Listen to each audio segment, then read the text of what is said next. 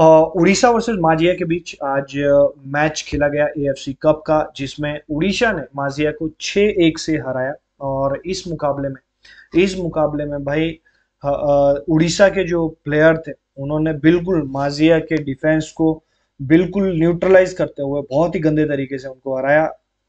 उड़ीसा की तरफ़ से लाल तांगा ने तीसरे मिनट में गोल किया, कार्लोस ने 15 मिनट में गोल किया मुर्तदा ने 19 मिनट में हेडर लगा के गोल किया, अमे रनवाड़े ने 58 मिनट में गोल किया, इसाका इसाका ने 62 मिनट में गोल किया और वही साहिल पनवर ने 90 प्लस 5 मिनट में गोल किया।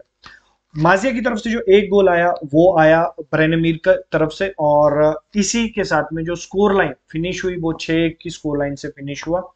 इस स्कोर इस मैच के जीते अभी जो उड़ीसा है वो आपकी टेबल में दूसरे नंबर पे मोहन बगान के बाद में आ चुकी है।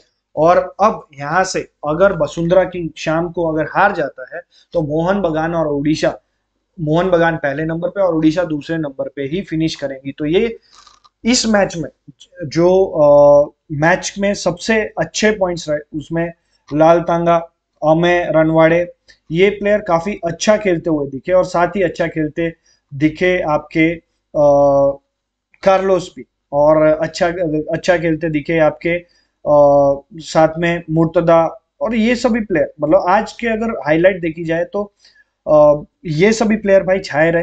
हालाँकि और भी गोल स्कोर किए जा सकते थे। तो ये तो आज के मैच का लेखा जोखा था। अगला जो मैच है, उसका भी लेखा जोखा का वीडियो मतलब जो मोहन बगान वर्सेस वसुंधरा किंग्स है, उसका भी लेखा जोखा आपको इसी चैनल पे मिलेगा। तो प्लीज़ नोटिफिकेशन की बेल दबा के रखिए सब्सक्राइब करके रखिए और लाइक करते रहिए।